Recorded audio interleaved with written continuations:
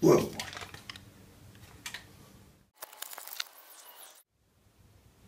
Wish life could be like the movies.